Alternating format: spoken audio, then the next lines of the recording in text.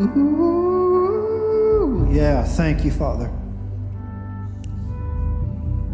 You know, we have to be a church of His presence.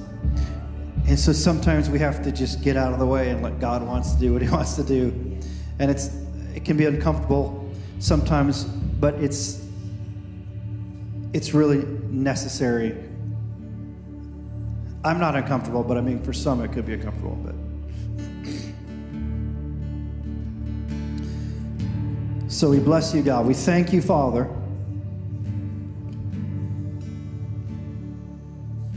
Man, especially now, we have to be so saturated in the presence of God to just walk outside. We need to just be just so saturated in His presence, really.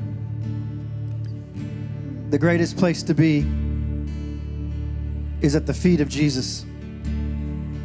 We talk about it all the time. Mary and Martha, we talk about it all the time.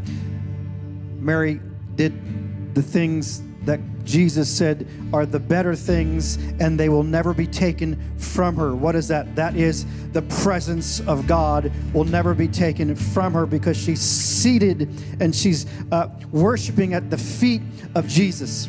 And he says, That is the better thing. Yes, it's great that you're doing all these things around the house, preparing for me and preparing for guests, but the better thing actually is to just sit at my feet and rest and just let me do what I want to do. That's the better thing. So we have to be a church that sits at the feet of Jesus and let and just says programs can just be later. Because how dumb would it be for us to miss an opportunity like this and just say, well, we got to get home, we got to preach, we got a game to go watch, whatever. They'll be there record the game. All right.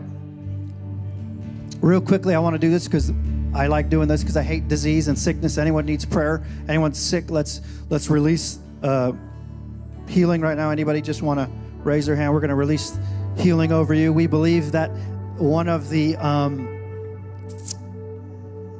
we believe that sons and daughters should walk in divine health. That's that's. I'll just say that. So if you need healing from anything, I want you to lift your hands. If you want, if you don't, if you don't need healing, don't don't lift your hands. So so we're going to go ahead and surround people. Come on, if you see someone with their hand raised and you're a faith-filled believer, I want you to surround them and I want you to pray. You don't need me or the pastor staff to lay hands on you necessarily.